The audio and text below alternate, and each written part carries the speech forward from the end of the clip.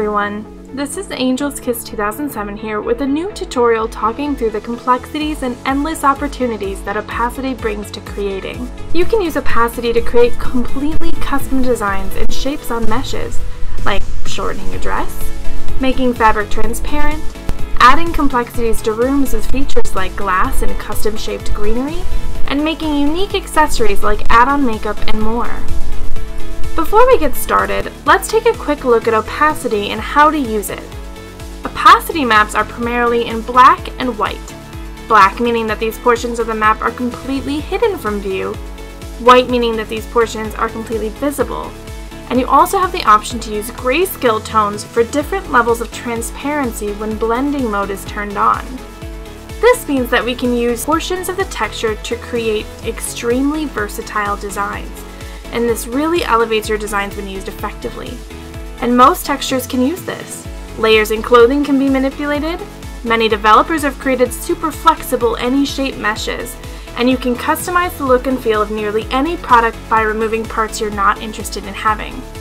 Let's take a look at how we can use opacity to create a super customized backpack with this great mesh made by polystyrene with these customizable texture areas. We have the UV line maps, convenient shadow maps, and a specular shininess map available for you to work with on this product page as well.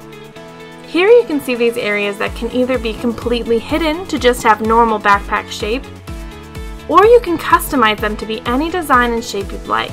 You could do lettering, animal ears, spikes, anything that fits in this shape. Additionally, this outer layer can be customized with opacity to reveal the layer underneath which again gives us so many customization options. Creating these textures can be done quite easily in your program of choice, and here's a quick look at me making these textures. The key here is using the line, UV maps, and shadow maps to your advantage and creating dynamic textures quickly and easily. Using layer modes to use the shadow maps to your advantage are great. I love color burn and screen or soft light in Photoshop, and burn and soft light in GIMP. Also, the more you can add to your surface, the more definition you get. For this tutorial, I'm adding a simple mesh texture to the backpack to give it a more dynamic look. I'm also drawing on details like zippers, a front backpack pouch, and using handmade materials for the inside of the backpack, as well as some designs found online that are free to use in commercial designs to make cute patches. Check out the tutorial page to find out some great tips and resources for finding images online that are safe to use in your works. Our focus now is the front of the backpack. I want to make this plastic area see-through so that we can see into the backpack. Let's take a look at how to do that. Additionally, if you're creating an IMVU studio, you can also create a specular shininess map to make this area shine realistically. Let's take a look at our outside layer texture. We're going to pick the points that need to be mostly see-through, mostly visible, and anything in between. So first we know that this area outside of the plastic is completely visible, or it's going to be white in our opacity.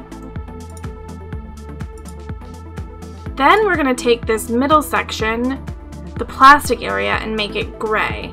That's going to give us at about 50% see-through transparency when we add it into IMVU. And then for depth and realism, let's take these shiny points and make them nearly white so that they look like the light is shining on them. One trick that you can use to make this simpler for your designs is to create your opacity first and then use it to influence your final texture, which we can see happened here.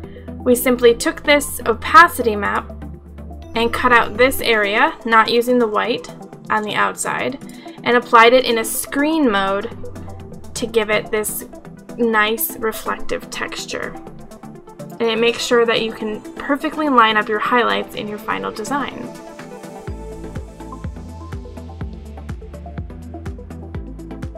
If we apply this to our backpack, we're really going to see the effect take shape. Now you can see right through to the design underneath. Let's take the same approach with our side panels. You can use design and black and white opacity maps to create any shape you'd like. I've gone ahead and made cute cat ears and whiskers for my backpack, as well as another version with spikes for this other backpack. We could also choose to apply a solid black opacity to completely hide these panels as well, revealing just the normal backpack shape. Now let's take a look at this backpack mesh in the new IMVU Studio Beta tool. Over on the left you can find the different asset tabs, first being Materials is where your textures are, Mesh, which is where the mesh components live, and Actions if your item has any animations.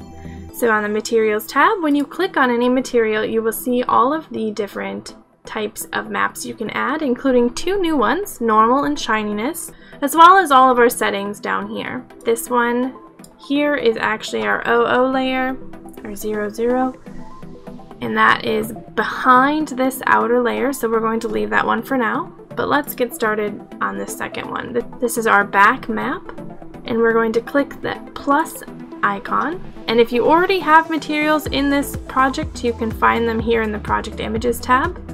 Otherwise, you can also select them by clicking Add Image, and you can reselect the texture from your files. So we're going to apply the back texture, and then we're going to move on to the next, which is the sides.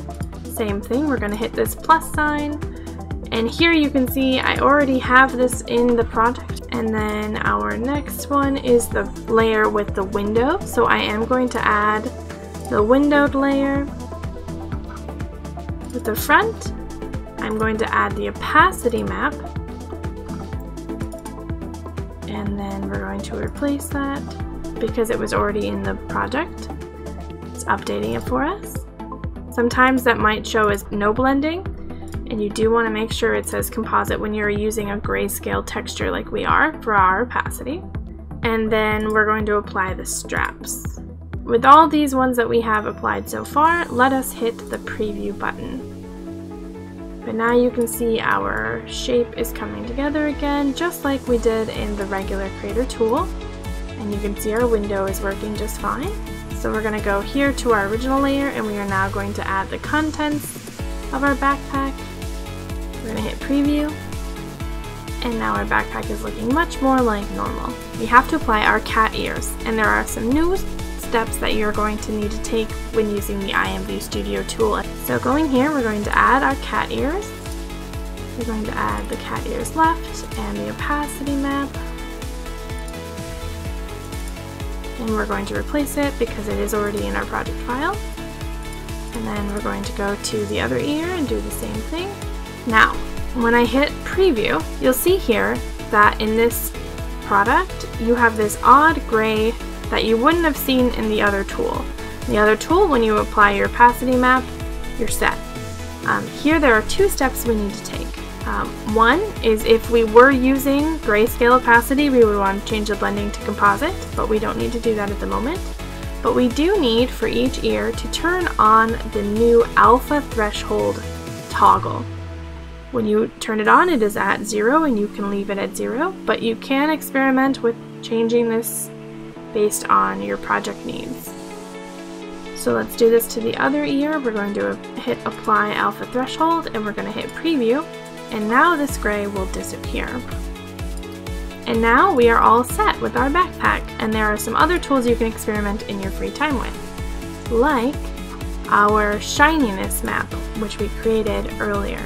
So if we go back to this here, we can go to shininess and add our shininess map and experiment with how that looks. We can add our specular map, we can change the reflectivity to be higher, and hit preview. And you might have to change your room type to be able to see it more clearly because it's a very bright room. So you might not see it as clearly in, as you would in a room that has better ambience or more reflective points of light. When you're all set, Go over to the Info tab to make sure all of your information is filled out for your product and then you can hit Submit. If you're editing an existing product, you would hit Resubmit to update your product or you would hit Submit as new if it's a new product. I hope this has been a helpful tutorial on how to use opacity as well as how to get started with these fun, customizable backpacks. I can't wait to see the fun designs you come up with.